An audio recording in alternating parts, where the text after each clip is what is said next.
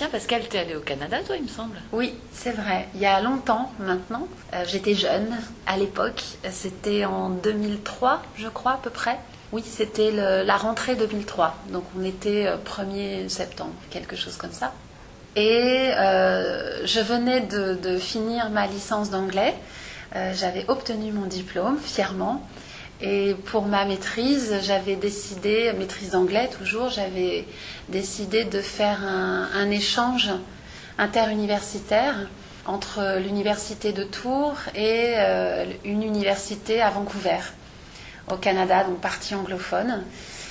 Et euh, me voilà partie au Canada, à Vancouver donc. Et je suis donc j'ai pris l'avion évidemment pour y aller, sauf que je n'avais pas encore prévu euh, le logement. Euh, je ne sais pas pourquoi. D'ailleurs, maintenant, avec l'âge, je me dis, mais qu'est-ce que c'est que cette expérience? Mais euh, en 2003, j'avais à peine 23 ans. Et je crois qu'à cet âge-là, on croit que rien n'est grave et tout est possible. Ce qui est vrai peut-être. Pourquoi pas Et oui. Et, euh, et donc, euh, je suis partie. Donc, j'ai j'ai pris l'avion, je ne sais plus combien il y avait de vol- d'heures de vol, peut-être 12 heures en tout, parce qu'il y avait un changement aux États-Unis. Donc je suis arrivée à Vancouver en, en pleine nuit. Il était, euh, je ne sais plus, une heure du matin, quelque chose comme ça. Et en arrivant à l'aéroport en pleine nuit, je me- c'est là où je me suis posé la question, bon, où est-ce que je vais dormir Donc j'avais mes gros sacs parce que je partais quand même pour une année scolaire.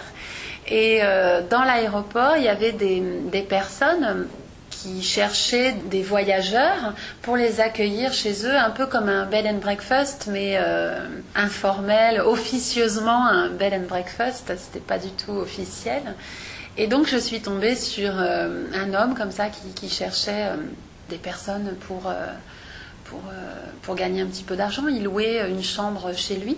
Et euh, donc j'ai dormi, alors en tout bien, tout honneur, on est d'accord, euh, il était avec sa femme. Et, et donc j'ai dormi chez eux cette nuit-là.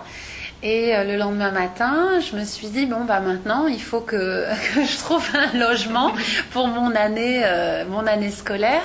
Et j'a- j'avais donc il y avait un site internet, je crois que c'était un site internet euh, un peu aussi interuniversitaire comme ça où il y avait donc j'étais pas totalement inconsciente. Je savais qu'il y avait ce site internet là, sauf que je ne l'avais pas consulté avant de partir, je l'ai consulté le jour même, enfin le lendemain. Et quand je l'ai consulté, j'ai vu qu'il y avait une, une, une maison euh, à louer pour des étudiants, hein, une petite maison dans un lotissement pas très loin de l'université. Et euh, on pouvait prendre le bus du lotissement jusqu'à l'université et on mettait peut-être 10 minutes, un quart d'heure. Donc c'était vraiment l'endroit idéal. Jolie maison euh, canadienne, parfaite. Et euh, donc euh, j'ai euh, j'ai téléphoné aux, aux propriétaires. euh, donc ils m'ont donné rendez-vous. Je, je leur ai dit que je venais dans la matinée. Donc j'ai pris un, un taxi, je crois. À ce moment. Non, non, c'est l'homme du faux bed and breakfast qui, qui m'a emmené. Il était très gentil.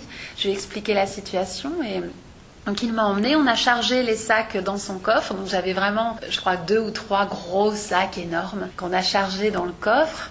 On, a trouvé euh, donc la maison dans ce petit lotissement. Et donc euh, quand le taxi est arrivé, les propriétaires sont sortis pour m'accueillir. Et euh, moi je suis sortie du taxi, j'ai vidé le coffre avec mes sacs et, le taxi est parti. Moi j'étais sur le trottoir avec mes, mes trois sacs. Et là les, les propriétaires m'ont regardé et je crois qu'ils ont compris que je venais pas juste visiter, c'est qu'ils étaient obligés de me prendre. C'est-à-dire j'avais pas d'autre solution, c'était comme ça. Je crois que j'avais même pas imaginé qu'ils puissent me dire non. Oui. Dans ma tête, euh, ouais, on, on agit vraiment bizarrement, je crois, quand on est à l'étranger. Je crois qu'on prend des risques euh, sans s'en rendre compte et on fait des choses qu'on ne ferait pas, euh, je crois, dans, dans notre propre pays.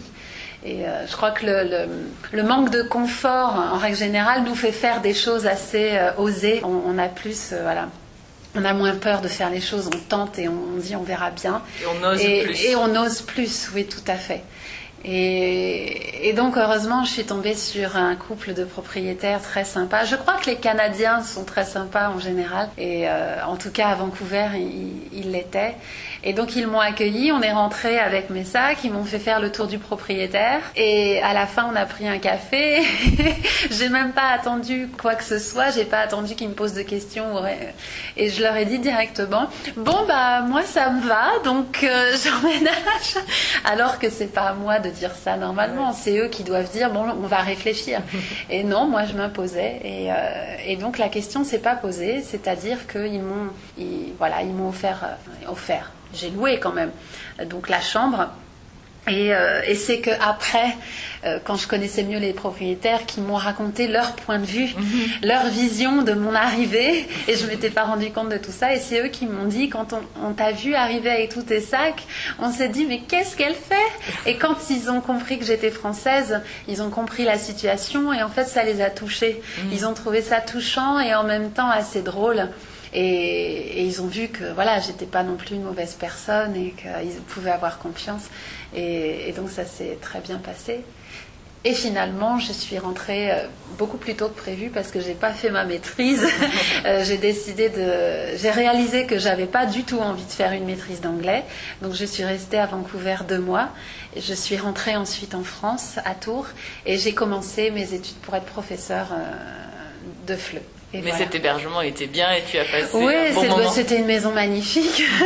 c'était vraiment une jolie maison et euh, en plus à cette période-là à Vancouver, c'était un peu l'été indien et il faisait vraiment très beau, très chaud et euh, donc j'ai bien profité de la maison et, et, pas du tout de l'université parce que je m'en fichais complètement.